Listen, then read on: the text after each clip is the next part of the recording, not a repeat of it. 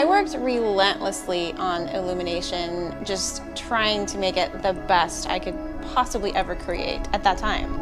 Everything from the artwork, the photo shoots, the videos.